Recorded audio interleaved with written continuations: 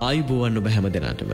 සෙනසුරාදා දවසේ සිරසෙෆෙම් දම්සක්නද ධර්මදේශනය ශ්‍රවණය කරන්නයි අපි මෙතැන් සිට සූදානම් වන්නේ. ධම්ම පදයේ එක් ගාථාවක තේරුමෙහි මෙන්න මෙසේ සඳහන් වෙනවා. දිව මාළු පිණිවල රස වහා දැනගන්නාක් මෙන් නුවනැත්තා මොහොතක් නමුත් පණ්ඩිතයකු ඇසුරු කරයිද ඔහු වහා ධර්මය දැනගනී. පණ්ඩිතින් ඇසුරු කරන්නට අද සමාජයේ ඔබට ලැබෙන අවස්ථාව බොහොම සුළුපටු බව අප දන්නවා. ඒ නිසා ඔබට වටිනා දෙයක් දැනගන්නට වටිනා ධර්මයක් ශ්‍රවණය කරන්නට මෙතැන් සිට අවස්ථාව ලබා දෙන්න අපි සූදානම් වෙනවා. අපේ ගරු ස්වාමින් වහන්සේ මේ දේශනා කරන ධර්ම කරුණු ඔබේ ජීවිතයට එකතු කරගන්නට මෙතැන් සිට ඔබට පුළුවන්කම තියෙනවා.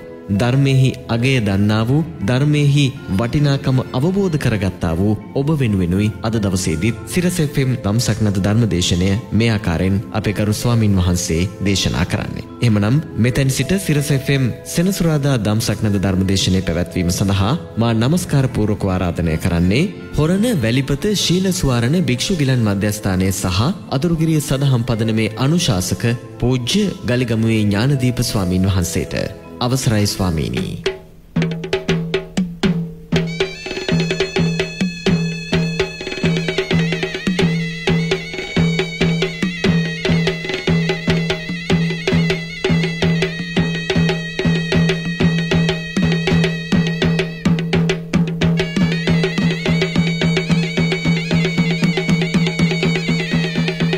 සමන්තා චක්කවාලේසු අට්‍රා ගච්ඡන්තු දේවතා සද්ධම්මං මුනිරාජස්ස සුනන්තු සග්ගමොක්හදං ධම්මසවන කාලු අයංබදංතා දමසවන කාලු අයංබදංතා දමසවන කාලු අයංබදංතා නමුතස්ස භගවතු වරහතු සම්මා සම්බුද්ධස්ස නමුතස්ස භගවතු වරහතු සම්මා සම්බුද්ධස්ස නමුතස්ස භගවතු වරහතු සම්මා සම්බුද්ධස්ස හැම දෙනාටම තෙරුවන්සන්න ප්‍රාර්ථනා කරමින් අදත් ඔබ හැම දෙනෙක්ම සිනසුරාද දවස ඔබේ ජීවිතයට වැදගත් ධර්මකාරණා ටිකක් එකතු කරගන්න. බොහොම සද්ධාවෙන් ධර්මශ්‍රවනයට එකතු වෙච්ච මොහොත. ඔබ හැම දෙනාටමත් මේ උතුම් ධර්මශ්‍රවනය නිවන්දොරටුවක් බවට පත්වේවා කිය අපි මුලින්ම ආශිර්වාද ප්‍රාර්ථනා කරනවා. පිංහතුනේ බුදුරජාණන් වහන්සේ මරණාසන්න මොහොතේ පහළ වෙන ගති නිමිති ගැන දේශනාවල සඳහන් වෙලා තියෙන. උපන්නා වූ සෑම සත්වයෙක්ම ඒ කාන්තෙන් මරණයට පත්වෙනවා. නත්ති ජාත සමරණ. ඉපදුනානං ඒ කාන්තේම මරණයට මෝන දෙන්න සිද්ධ වෙනවාමයි. ඒක ලෝක ධර්මතාවය ඒක ආරි සත්‍යයක් දුක්කාරය සත්‍යයට අයිති සත්‍යයක් හැටියටයි ධර්මී සඳහන්වෙන් රජෙක්වුණත් සිටුවරෙක්වුණත් සක්විති රජෙක්වුණත් බුදු පසේ බුදු මහරහතන් වහන්සේලාත් පිරිනිවන් පෑව. ඒ නිසා මේ ලෝකෙ හැමෝම ඉපදුනානං ඒ කාන්තෙන් මරණයට මුණ දෙනවා. මේ මරණාසන්න මොහොත කෙනෙක්ගි ජීවිතයේ තීරණාත්මක තැන මාර්ගඵලයක් ලබපු කෙනෙක් නම් අඩ්ඩුම තරමින් සෝවාන් පලේටවත් පත්වෙලා නං ඒ කෙනා මරණ ඉදිරි අසරණ වෙන කෙනෙක් නෙවෙයි. ඒ කාන්තෙන් සතරාපායෙන් මිදිච්ච කෙනෙක්. පිංහතුනේ අසරණකම කියන්නේ මරණාසන්න මොහොතේ. ජීවිතයේ වැඩිපුරම බරවෙලා තියෙන්නේ සතරාපායටනං අන්න අසරණ කෙනෙක්. පෘතජ්ජන ජීවිතයේ බුදුරජාණන් වහන්සේ පෙන්නන්නේ සතරාපාය මහගෙදර වගේ කියලා. පෘතජ්ජනයාට සතරාපාය කියන මහගෙදර වගේ තනම්. හැම වෙලාවිම ජීවිතේ බරවෙලා තියෙන්නේ නිරේට තිරිසන් ලෝකයට ප්‍රේතලෝකයට අසුරාපායට. හැබැයි සෝවාන් වෙච්ච පුද්ගලයා සෝතාපන්න පලට පත්වෙන කොටම නිරෙෙන් සදහත්තම නිදහස් වෙනවා. තිරිසං අපායෙන් සදහටම නිදහස් වෙනවා. ප්‍රේතාපායෙන් අසුරාපායෙන් නිදහස් වෙනවා. සෝවාන් වෙච්ච කෙනා සතරාපාය උපදිනවා කියන එක සිද්ධ නොවන දෙයක් අභහුය දෙයක් හැටියට බුදුරජාණන් වහන්සේ පෙන්න්නනවා. ඒ කෙනාට උපරිම ඉපදුනත් සුගතිය උපදින්න තියෙන තව ආත්ම හතක් විතරයි. ආත්ම හතක් ඇතුළත ඒ කාන්තෙන් ඉතිරි මාර්ගඵල අවබෝධ කරගෙන නිවන් අවබෝධ කරගන්න කෙනෙ. නතේ බවන් අට්ටමං ආදියන්ති. අටවෙනි භවයකනං උපදින්නෙම නෑ කෙනව සෝවාන් පලට පත්වෙච්ච කෙනා. හැබැයි සෝවාන් පලට පත්වෙච්ච පුද්ගලයෝ ඉතිරි මාර්ගඵල අවබෝධ කරන සුරූපය අනුව කොටස් තුනකට ධර්මය පෙන්න්නනවා. ඒක බීජී කෝලංකෝල සත්තක් කත්තු පරම හැටියට විස්තර කරන. ඒක බීජී කියන එක ජීවිතයක් තුළම සුවාන් වෙච්ච ජීවිතයේදිම සකදාගාමි අනාගාමි අරහත් කියෙන ඉතිරි මාර්ග පලත් අවබෝධ කරගෙන එක ජීවිතයේදීම උතුම් අරහත්වයට පත්වෙලා සසරදු කවසන් කරගන්න. කෝලං කෝල කියන ආත්ම දෙකක් තුනක් හතරක් පහක් හයක් එතකොට මේ වගේ ඒ ආත්ම කීපයක් ඇතුළත ඉතිරි මාර්ග පල අවබෝධ කරගෙන ධර්මය අවබෝධ කරගන්න. සත්තක් කත්තු පරම කියන්න එයා උපරිම ආත්ම හතක්ම ඉපදීපදියන්. කාමලෝකයේ ඉතිරි ආත්ම භාව කීපේම ඉපදිලා හත්වෙනි ආත්මේ මාර්ග පල අවබෝධ කරගෙන උතු මරහත්තයට පත්වෙලා සසරදු කවසන් කරගන්න. මෙන්න මේ විදිහට ඉන්ද්‍රිය නානාත්වය අනුව. ඉන්ද්‍රිය ධර්මයන්ගේ වෙනස්කං අනුව සුවාන් වෙච්ච පුද්ගලයම් බුදුරජාණන් වහන්සේ කොටස් තුනකට පේනවා. පිංහතුනී සෝවාන් පලයට පත්වෙච්ච කෙනෙක් නං ඒ කෙනාට මරණය ඉදිරියේ අසරණවීමක් නෑ. එයා ඒ කාන්තෙන් නිවන් අවබෝධ කරන ස්භාවෙන් යුක්තයි. හැබැයි පෘතජ්ජන ජීවිතයක් ගත කරන කෙනෙක්. සතරාපායි මහගෙදර කරගෙන ජීවත් වෙන කෙනෙක්. මරණාසන්න මොහොත කියන්නේ අනතුරක්මයි.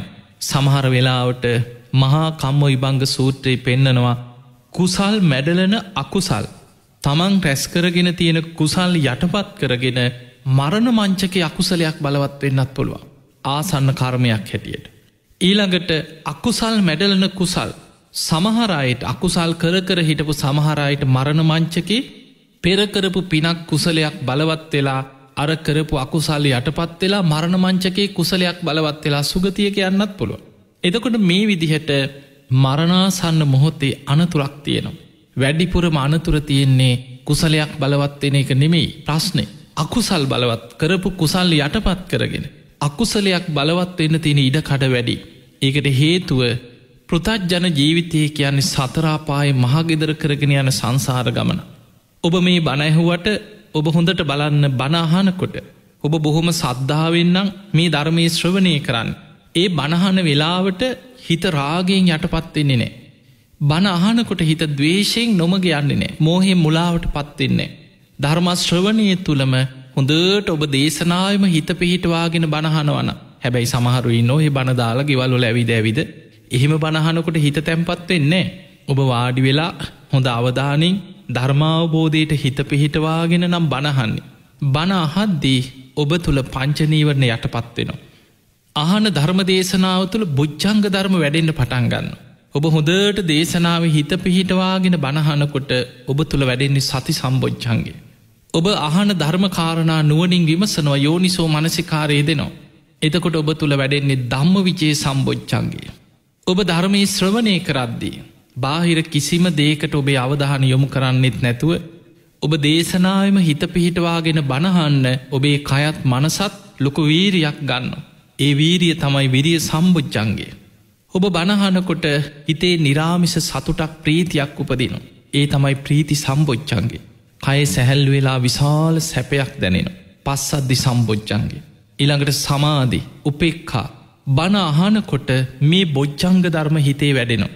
එනිසා පිංහතුනේ බණ අහනකොට හොඳට දේශනාව හිත පිහිටවාගෙන අර කෙලෙස් ධර්මයන් යටපත් වෙලා ධර්මාස්වාදයක් තුළ බොහොම ප්‍රීතියෙන් සතුටෙන් හිත ධර්මාවබෝධයට නැබුරුවෙන. හැබැයි මතකතියාගන්න මේ හිත අභ්‍යන්තරේ ඔබ ධර්මය අවබෝධ කරගන්න තෙක් අපායගාමි ආශ්‍රව හිත ඇතුළි තියෙනවා. සැනිම් මතුවෙන්න පුළුවන්. නොසිතන විදිහට නිරේගාමි ආශ්‍රෝභී හිත ඇතුළෙන් බලවත්වෙන්න පුළුවන්. ඔබ ප්‍රේතලෝකට ඇදගෙන යන ආශ්‍රව.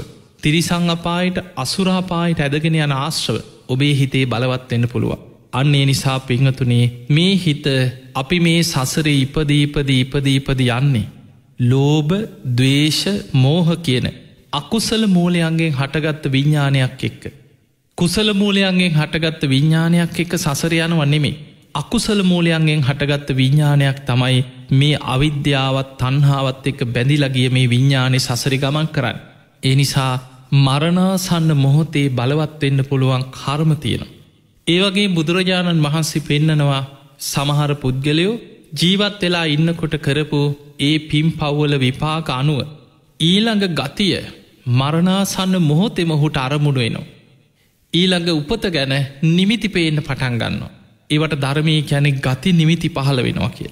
සුගතිය සම්බන්ධයෙන් ගත්තොත් පින්කරගත්ත කෙනෙක්නා සමහරයින්න හොඳට පින් කරනවා. ඔබ හල ඇති දුටුගැම රජ්ජුරුව ගැන. දුටුගැම රජ්ජුරුව මරණාසන්න වෙනකොට රුවන්වැලි මහා සෑයේ ධාතු නිදන් කරලා හතරැස් කොටුවේ වැඩත් අවසන් කරලා කොත් කැරැල්ලි වැඩ යම් මට්ටමකට කරගෙන යනකොට තමයි රජ්ජුරුව රෝගාතුර වෙලා මරණාසන්න වනේ. ඒ වෙනකොට දිගාමඩුල්ලේ රජකංකරපු තිස්ස කුමාරයාව අනුරාධපුරයට කැඳවල රජකම දුන්න.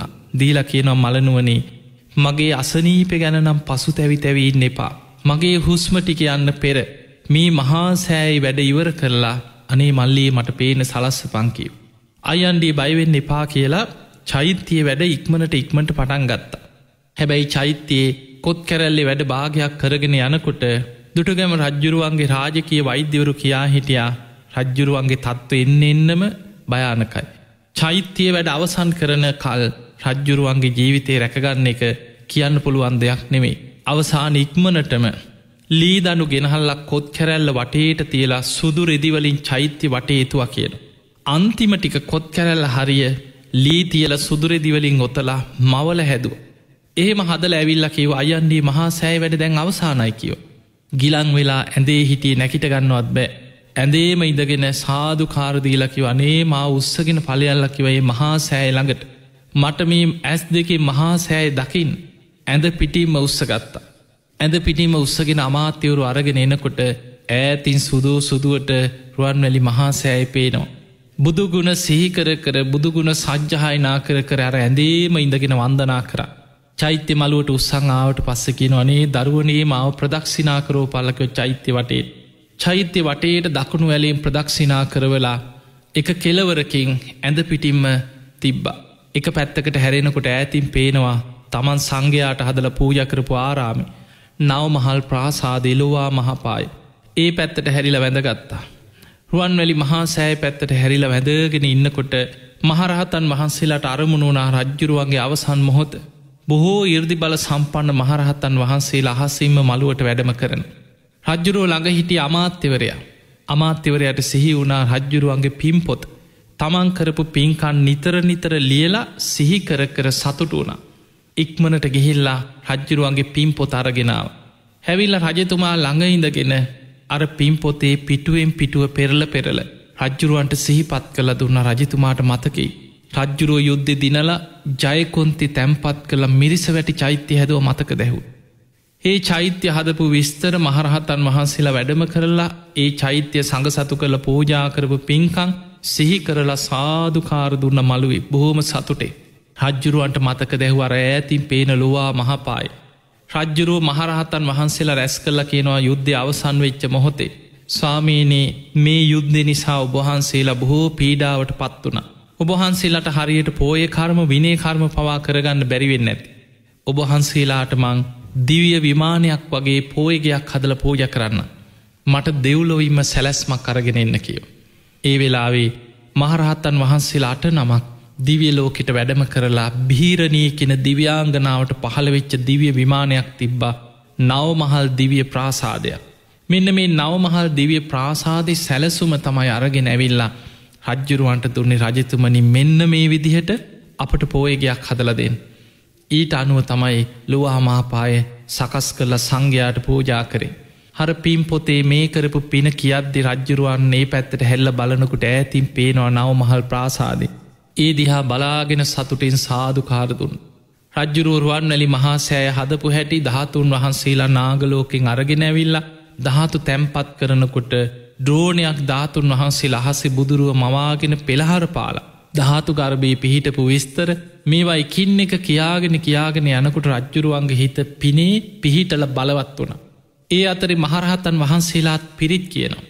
දැන් රජ්ජුරුවන්ට අහසේ පේනවා දිවිය රත හයක් අන්න ගතිනිමිති පහළ වෙනවා කිය ඒවට. මරණාසන්න මොහොත්තේ ඊළඟ ගතිය ගැන නිමිති පහළ වෙනවා පින බලවත්වෙන. දෙවිවරු අහසේ ඉදන් දිවිය රතවල ඉඳං රජ්ජුරුවන්ට අඩගහන.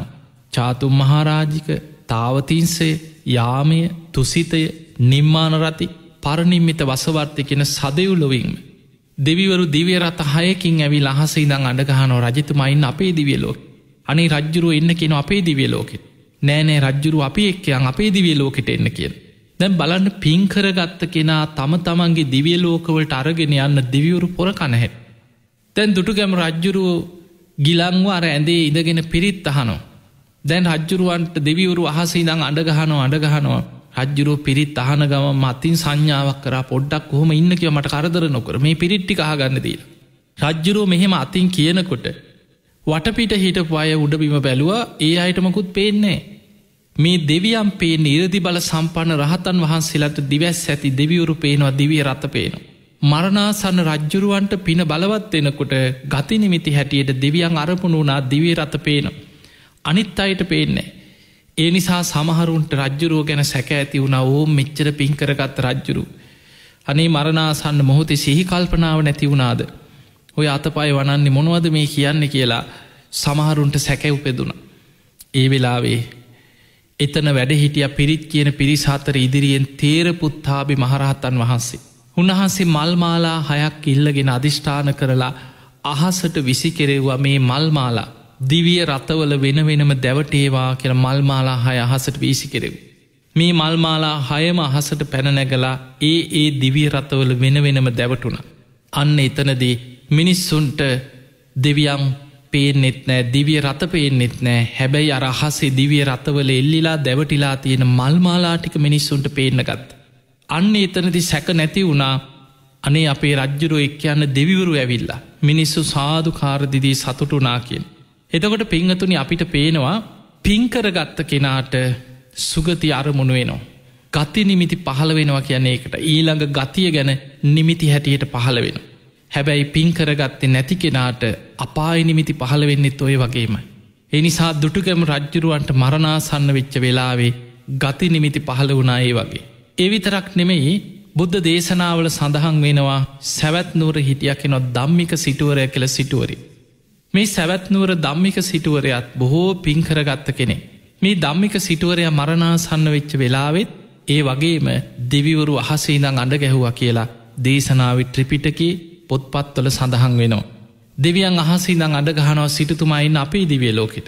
සිටතුමයින් අපේ දිවිය ලෝකට නෑනෑ අපේ දිවිය ලෝකට එන්න කියලා අඩ ගැහුවකින්.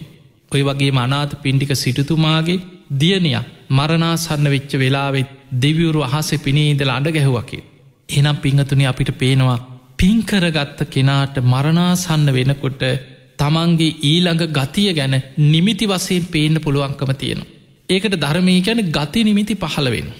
දැන් අපි හිතමු අපි මේ මනුස්සලෝක ජීවත්වෙන. ඔබ හොඳට පින් කරනවා දන් දෙනවා සිල් රකිනවා භාවනා කර.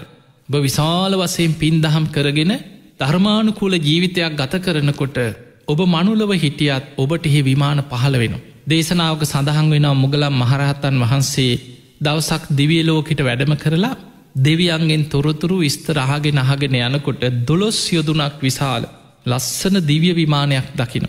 මුගලං හාමුදුරුව හනුව කාගෙද මේ විමානේ මේ තරන් ලස්සන දිවිය විමානය කවුරු වෙනුවෙන්ද මේක පහළ වනේ. එතනදී එතනින් යන දේවතාවරු පිරිසක් මුගලං හාමුදුරු දැකල කියෙනවා සාමීනී මේ විමානෙන පහළවෙච්ච දේවතාවා තාම ඉන්න මනුලෝ තාම දෙව්ලෝට ඇවිල්ල නෑ මේ විමානෙ පහළ වනේ බරණැස නන්දිය සිටුවරයා වෙනුවෙන් කිව්. බරණැස නන්දිය සිටුවරයා බුද්ධ ප්‍රමුඛ සංඝයා උදෙසා ශාලාවක් හදල සඟ සතු කරලා පූජ කරගත්ත කිව්. මනුස්සලෝකෙ ශාලාවක් හදල බුදුරජාණන් වහන්සේ වෙනුවෙන් ඒ ශාලාව පූජා කළ සඟ සතු කරල පූජ කළ මහාදානයක් දෙනවා. ඒ දානෙ දෙනකොට ඒ පින්කම කරනකොට ඔහු වෙනුවෙන් දිවිය විමානයක් දෙව්ලෝ පහළ වෙනවා. දෙවිවරු කියනවා සාමීනය ඔබහන්සේ මනුස්සලෝකට වැඩියහම. බරනැසදි හදිස්සීවත් ඔය කියන නන්දිය සිටුවරය ඔබහන්සිට මුණ ගැහෙන්නත් පුළුව. නන්දිය සිටුවරය මුණ ගැහුණොත් ඔහුට කියන්න කියනවා අන්න ඔබ වෙනුවේ විමාන පහළ වෙලා. දෙවියන් ඔබේනකම් බලාගෙන ඉන්නවා. තව තවත් පින් කරලක් කුසල් වඩලා තවතිසා දෙවියන් අතරට මෙන්න කියලා ගිහින් කියන්න කියන. එතකොට අපිට පේනවා එදා මුගලම් මහරහතන් වහන්සේ දෙව්ලවදී ඒ දිවිය විමානෙ දකිනකොට නන්දී සිටුවරයා මනුස්සලෝක ජීවත්වෙන පින්කර කර ඉන්න කෙනෙක් හැබැයි ඔහු වෙනුවෙන් දෙව්ලෝ විමාන පහළ වෙලා. ඒ නිසා පිංහතුනේ පින්කරගන්න කෙනාට පරලව පිනට අනුව ඒ විමාන පහළ වෙන. දැන් අපි නන්දී සිටුවරය ගැනම හිතමු. සමහර වෙලාවට සමහර පුද්ගලව අපි දකිනව මනුස්ස ලෝකෙම පෘතජ්ජන භාවේ ස්භාවි. කාලයක් හොඳට පින් කරනවා. හොඳට බණ භාවනා කරන. ධර්මය දියුණු කරගන්න උත්සා ගන්න. කොහෝම හරි නිවන් දකින්න ඕන කියල වීරිය වඩනවා.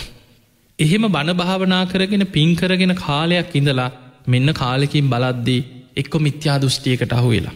තුනුරුවන්ටත් බැන බැන ගරහ කර කර තමන්කරපු පිනටත් බැන බැන අකුසල් කර කර ඊට පස්සේ අපාගාමී ජීවිත ගත කරන. දැන් අපි හිතමු කෙනෙක් පින් කරනකොට ඒ පින බලවත් වෙනකොට දෙව්ලොව දිවිය විමාන හුවෙනුවෙන් පහළ වනා කියලා. හැබැයි ඔහු කාලයක් ගිහි අකුසල් කරනකොට අර විමානයෙහෙම මතුරු දහන් වෙලා යනවා. ඊට පස්සේ ඔහුට කර්මයට අනුව තමන් කරගන්න අකුසල්වලට අනුව අපායගාමි අකුසල්වලට අනුව එහෙට ගති නිමිති පහළවෙන්නේ අපාය පැත්තටයි කර්මය හැදෙන්. ඒ නිසා නැවත නැවතත් පින් කරන කෙනා බුදුහාදුරුව පෙන්වා මහනෙනි නැවත නැවත පින් කරත්. නැවත නැවත කුසල් වඩා. පිංහතුනි මරණාසන්න මොහොතේ පින්කරගත්ත කෙනාට සුගති අරමුණු වෙනවා. දිවියලෝක යන විදිහට නම් පින බලවත් වෙලා තියෙන් ඒ වගේ ගති නිමිති පහළ වෙන්න පුළුවන්කම තියෙන. ඊළඟට අකුසල් පැත්තෙන් ගත්තොත්. බුද්ධ දේශනාවල සඳහන් වෙනවා ඔබහල ඇති මජ්්‍යමනිකායි දනංජානි කියල සූත්‍රයක්තිය.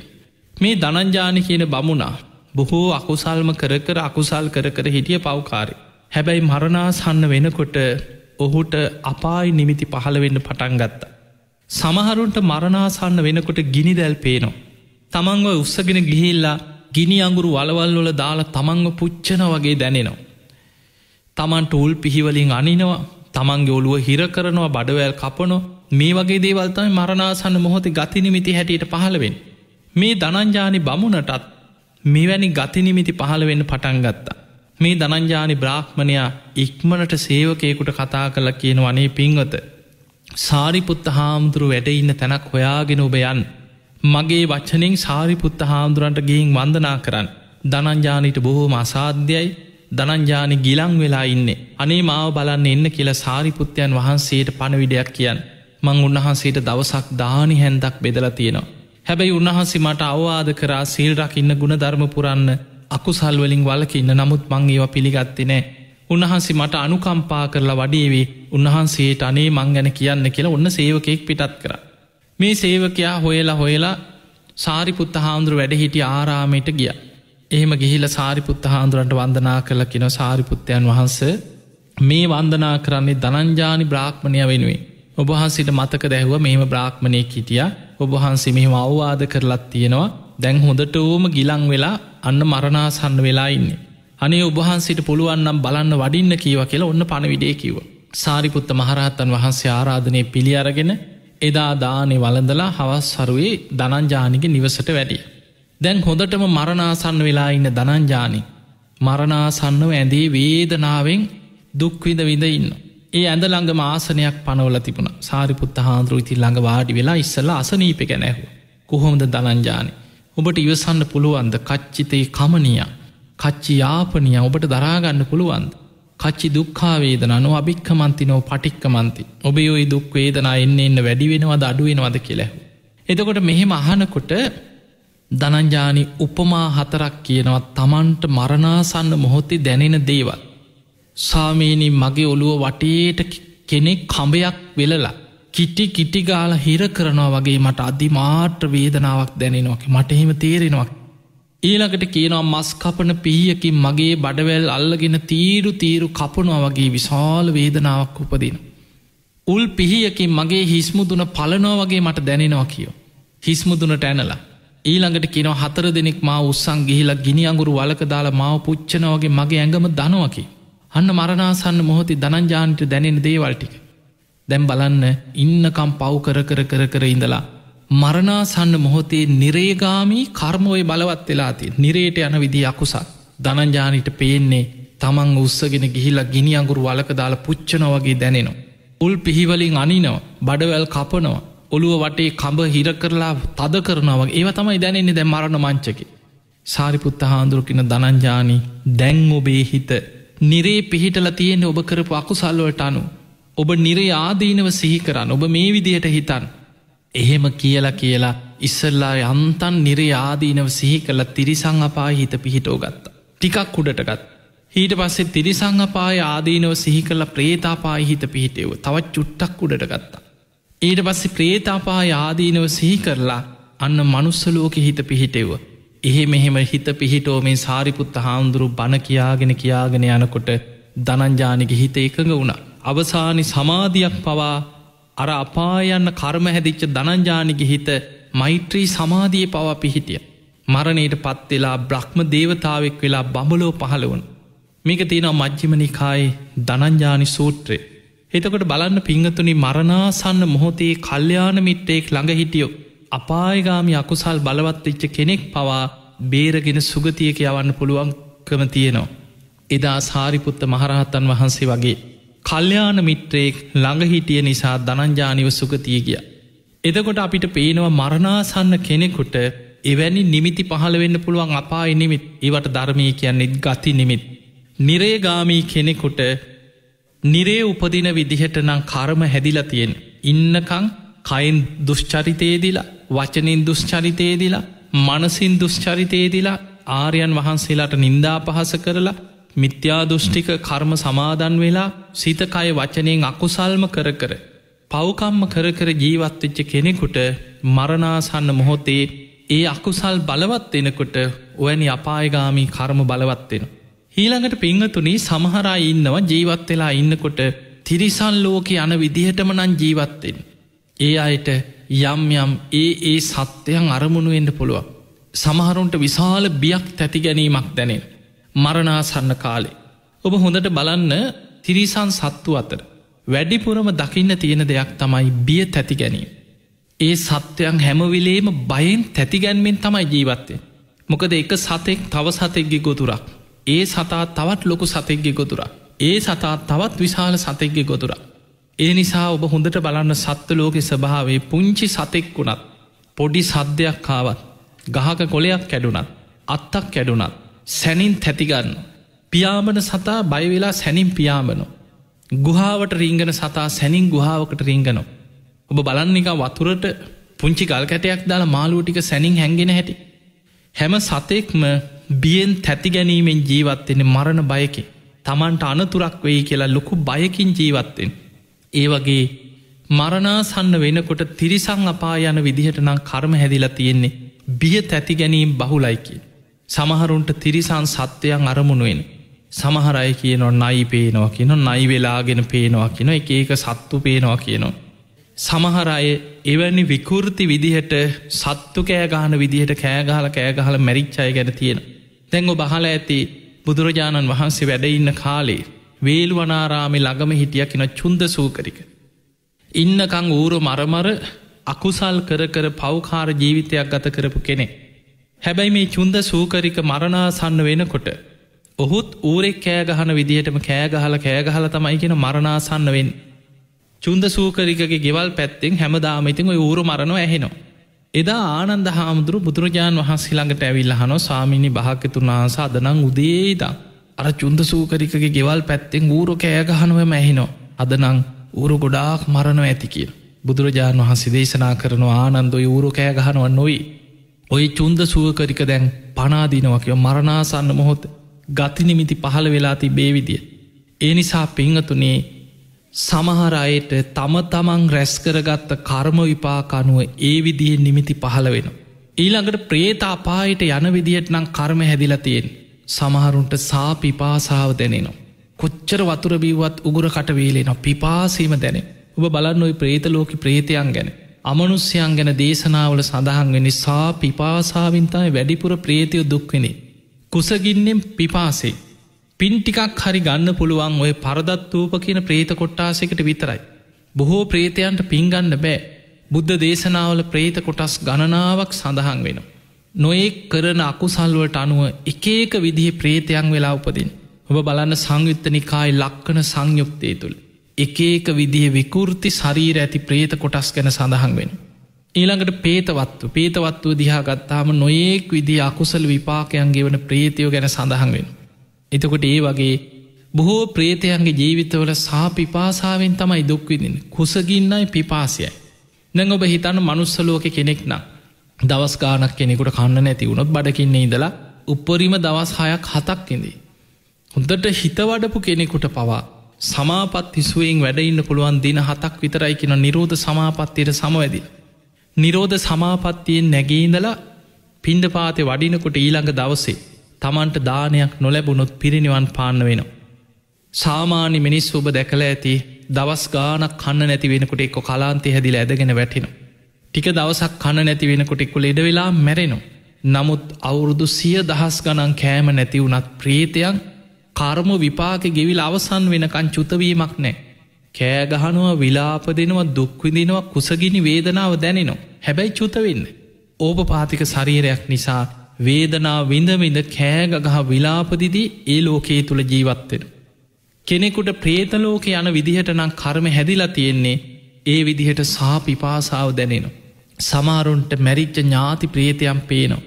සමහරුන්ට විකෘති විදිහට ප්‍රේතියෝ පේනවා අන්න අතන ඉන්නවා මෙතන ඉන්න මගේ බෙල්ල මිරිකන්නේ නවා කකුලෙන් ඇදකයි හෝනට ඇඩ ගැහුව කියයි. එතකොට මේ වගේ සමහරු ප්‍රේතියෝ ගැන අමනුස්්‍යයෝ ගැනම කියෝල කියෝල මී යන. ඒ නිසා පිංහතුනේ මරණා සන්න මොහොත කියන ජීවිතයේ තීරණාත්මක තැන. මේ මරණ මොහොතේ අසරණ නොවෙන්නන මැරෙන්න්න වැටෙනකම් බලාගෙන ඉන්න එපා. බොහෝ දෙනෙක් පින් කරන්න පුළුවන් කුසල් වඩන්න පුළුවන් හැකියාව තියෙද්දි. මැරෙන්න්න වැටෙනකං අකුසල් කර කර ඉනවා මං ඒක ඒ වෙලාවට කරගන්නම්. මං ඒ වෙලා වෙනකොට ඕක කරගන්නම් කියකේ ඉන්න මැරෙන්න්න වැටෙනකං පිනක් කරන්නේ. කුසලයක් වඩන්නේ. අන්තිම මොහොත වෙනකොට සමහරුන්ට සිහිකල්පනාවත්නෑ. ආයි කුසලේක හිත පිහිටන්න තියා සිහිකල්පනාවත්නෑ. දැන් ඔබ හිතන්න කෙනෙක් මරණාසන්න වෙද්දී. සිහිකල්පනාව නැත්නම්. තමන් කරපු කියපු පිනක් තමන්ට සිහිකරගන්නවා පුළුවන්ද සිහිය නැත්නම් ඔහුට ඒක කරගන්නත් බෑ. අඩුම ගානෙ සිහිය තිබුණොත් තමයි එක්ක සාමීන් වහන්සේ නමකට හරි ඇවිල්ල පිරිට්ටිකක් හරි කියලා බුදුගුණේක හරි හිත පිහිටවන්න පුළුවන් සිහිය තිබුණොත්. දරුවෙකුට හරි ළඟ ඉඳලා කනට කරලා හරි අම්මට මතක යම්ම මෙහෙම පින් කරා තාත්තට මතකද තාත්ත මේ වගේ පින් කරගත්තා. එහෙම කියලා හරි අම්මේ බුදුගුණ ටික හිතන්න තාත්ති බුදුගුණ හිතන්න කියලා බුදුගුණේක හරි හිත පිහිටෝල සුගතිය කාරි යවන්න පුළුවන්කම තියෙන්නේ සිහිය තිබුණොත් නමුත් අපි දකිනවා වර්තමානයේ මේ සමාජයේ තුළ බොහෝ දෙනෙක් අකුසල් කර කර කර කර ඉඳලා මරණාසන්න වෙනකොට සිහිකල්පනාවනේ. මරණාසන්න වෙනකොට සිහිය දුරුවල වෙන ප්‍රධානම කාරණයක් තමයි දුස්සීලකම. ඔබ බලන්න බුදුරජාණන් වහන්සේ සීල විපත්ති පහක් දේශනා කරලා තියෙන. පළවෙනි එක තමයි දුස්සීල කෙනා ආර්ථිකාතින් පිරිහෙනවා. හම්බ කරගත්ත ධනය විනාස කරගෙන බෝග සම්පත්තියෙන් පිරිහිලා යනවා. ඔබ හොඳට බලන්න සමාජයේ දිහා බේබදුකං සල්ලාලකං සුරාව සූදුව කැසිනෝ පාපමිට්ට සේවනේ දුරාචාරි. මේවට පුරුදුනාට පස්සේ දවසින් දවස හම්බ කරගත්ත ධනය විනාස කරගෙන ධනයෙන් පිරිහිලා පවුල් පිටින් සමහට ඉඩකඩන් උගස්තියල ඒ වැනු සූදු ගහලා බීල මත්පැන් මඩ්‍රව්ය නිසා මහපාරට හිඟමටට වැටෙනවා බොහෝ දනවත් පවුල්. තිබ්බ දේපල සේ සතම විනාස කරගෙන මහපාරට වැටෙනවා දුස්සීලකන් නිසා දුරාචාරය නිසා. බුදුරජාණන් වහන්සේ පෙන්න්නනවා පළවෙනි මේක තමයි දිට්ඨ දම්ම වේදනය විපාක බෝග සම්පත්තියෙන් පිරිහිලායන් දුස්සීල කෙනා. දෙවනි එක තමයි සමාජ විශාල අපකීර්තියක් ලැබෙන. ඔබ හොඳට සමාජය දිහා බලන්න යම් යම් දුස්සීල පුද්ගලයන්ට මිනිස්සුවේ දුස්සීලකං වලින්මයි චෝදනා කරන්න. මිනී මරුව කියයි. අපරාධකාරය. කිසිම හිතක් පපුුවක් නැති මනුස්සේ. මහ පව්කාරි. එහෙම කියන ප්‍රාණගාතයේ දෙන කෙනාට හීළඟට යම් කිසි කෙනෙක් හොරකමයේ දෙනවන අන්න මිනිස්සු ඇගිල්ල දික් කරන හොරා. කොච්චර හොඳට ඇඳල පැළඳලා හිටියත්.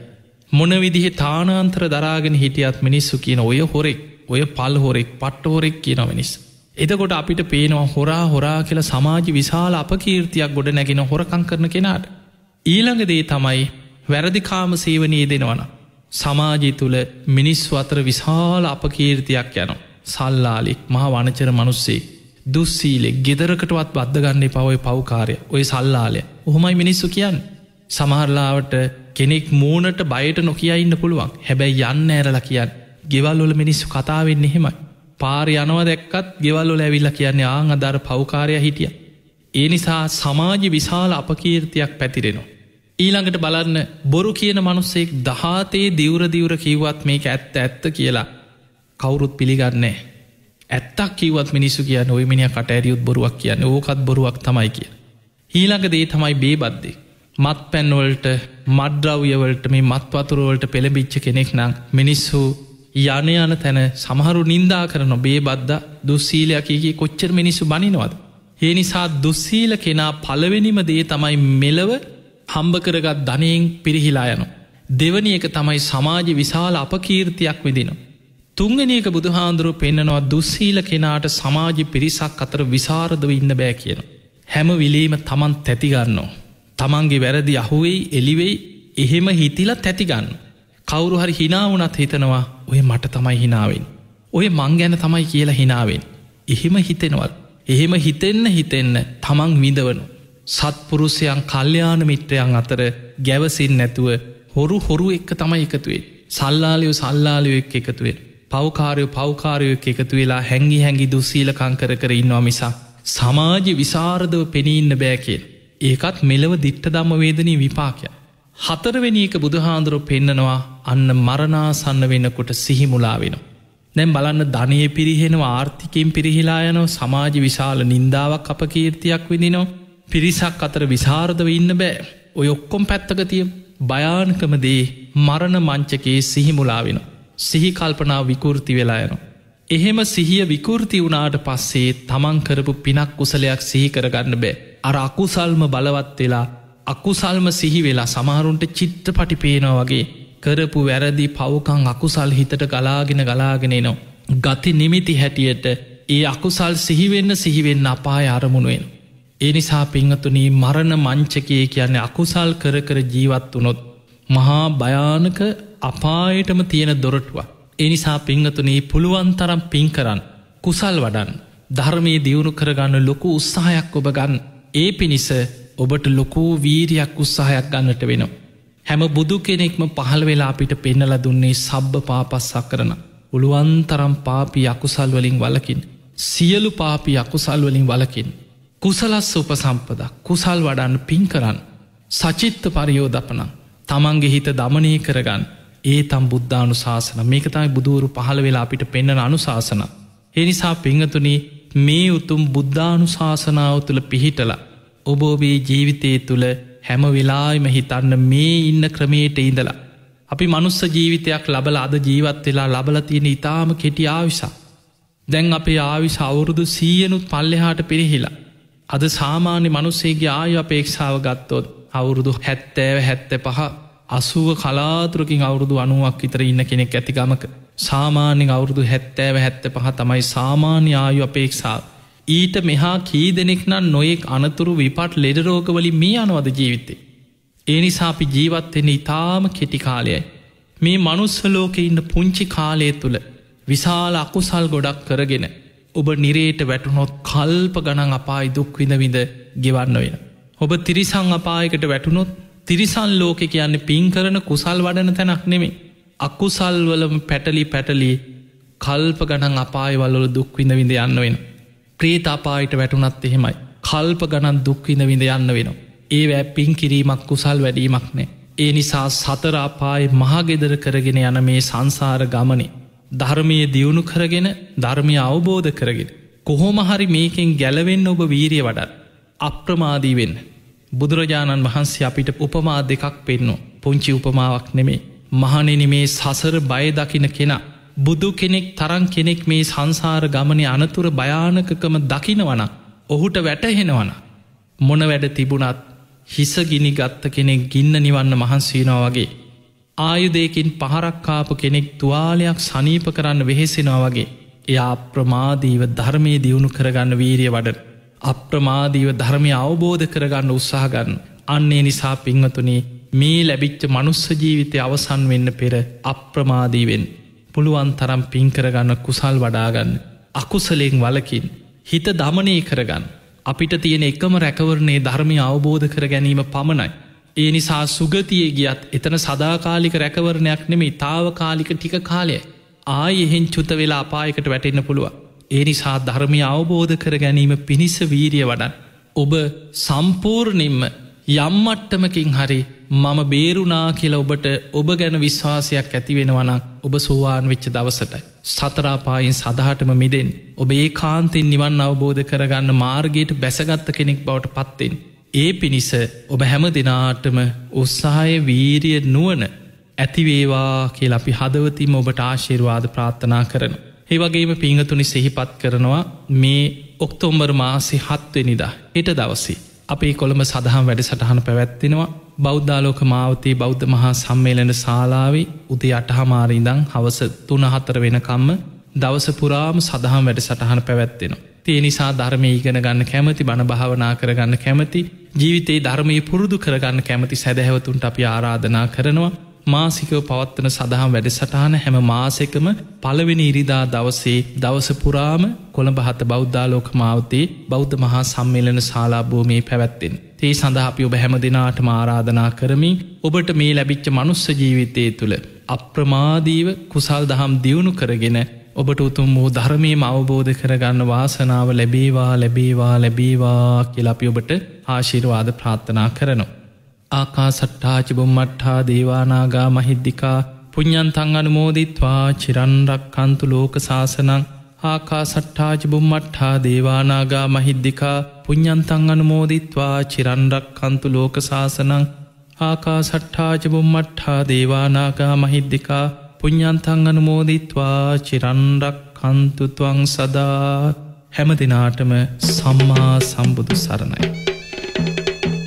ජීවිතය දිනන්නට අවශ්‍ය කරන ධර්මය ඔබේ ජීවිතයට සමීප කරමින් අද දවසේදී සිරස FM දම්සක්නද ධර්මදේශනය පැවැත් වූ හොරණ වැලිපත ශීලසුවාරණ භික්ෂු ගිලන් මධ්‍යස්ථානය සහ අතුරුගිරිය සදහම් පදනමේ අනුශාසක පූජ්‍ය ගලිගමුවේ ඥානදීප ස්වාමින් වහන්සේට සිරස FM වෙනුවෙන් මගේ නමස්කාරපූර්වක ස්තුතිය මේ මොහොතේදී පුද කරනවා. එවගේම උන්වහන්සේගේ සියලු ශාසනික කටයුතු දියුණුවෙන් දියුණුවට පත්වේවා උන්වහන්සේට තවත් බොහෝ කාලයක් බොහෝ දෙනෙකුට ධර්ම ඥානය ලබා දෙනට අවශ්‍ය කරන ශක්තිය ධෛර්ය වාසනාව නිරෝ නිරෝගී සම්පත්තිය නිරන්තරයෙන්ම ලැබේවා කියලා අපි හැම දෙනාම එක්ව ප්‍රාර්ථනා කරමු. හෙට දවසේදීත් සිරස FM දම්සක්නද ධර්මදේශනය ශ්‍රවණය කරන්න ඔබට අවස්ථාව තිබෙනවා රාත්‍රී 7ට හෙට ධර්මදේශනය පවත්වන්නේ පූජ්‍ය උඩුදුම්බර කාශ්‍යප ස්වාමින් වහන්සේ විසින්. එමනම් හෙටත් රාත්‍රී 7ට අපි ධර්ම ශ්‍රවණය සඳහා මුණ ගැහිමු. ඔබ හැම දිනාටම තෙරුවන් සරණයි.